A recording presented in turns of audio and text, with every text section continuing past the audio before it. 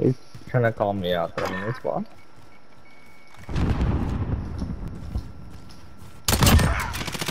That was nasty.